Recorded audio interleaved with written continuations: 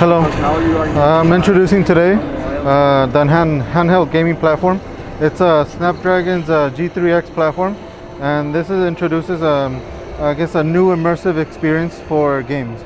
Like, what this is, uh, first we have an OLED display, we have haptic feedback, we have four-way speakers, and all of this creates a, a good sense of immersion. Uh, furthermore, like we have active cooling system. This allows us to play um, at peak performance without any interruptions due to you know throttling. All of this combined allows us to have an immersive game experience. Furthermore, with the good connectivity of 5G and Wi-Fi 6E, like we don't experience any lag. Furthermore, this allows us to uh, work with um, both installed games or within the platform and games in the cloud. So here's an example of a, of a game. Give me a second.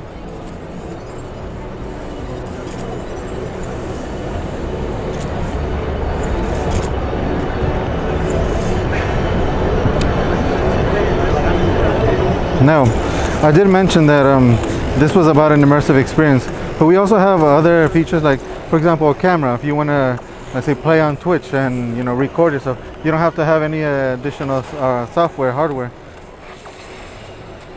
And here's some gameplay.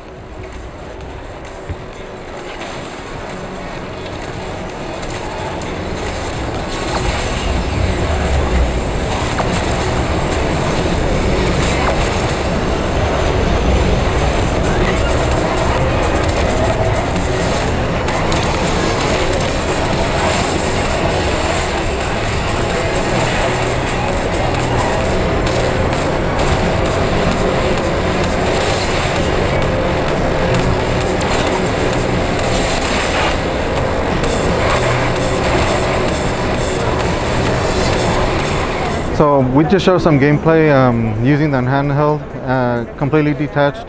It can be mobile. But let's say if you want to use a bigger screen or you don't want to look down at your console, you could connect this to a television using um, USB Type-C to HDMI adapter and you could play on a television. This supports a 4K television and on standalone mode it could go up to 144 uh, frames per second.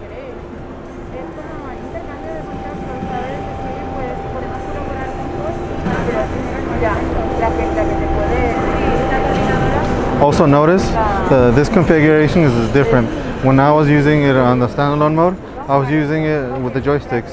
Here, uh, it's being used uh, with the tilt sensors.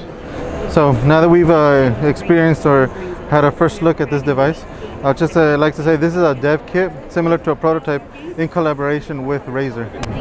So this uh, handheld gaming platform uses a G3X, uh, so the Snapdragon G3X, which is a derivation from premium tier mobile chipsets. Now since this, this is Android based, it has access to the Google Play Store and to the Xbox Game Pass, uh, which allows you to play local installs or play on the cloud.